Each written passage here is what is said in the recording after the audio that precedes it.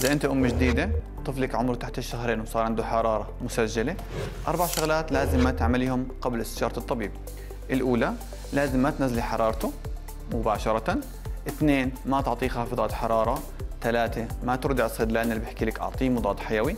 أربعة ما تستني عليه ولازم يقيموا الطبيب مباشرة لأنه الحرارة بهذا العمر إذا كانت حرارة حقيقية أو مرضية ممكن تكون سببها تجرثم بالدم وهذا بيحتاج. فحص سريري فحوصات مخبرية حتى ممكن يحتاج دخول وأدوية وريدية.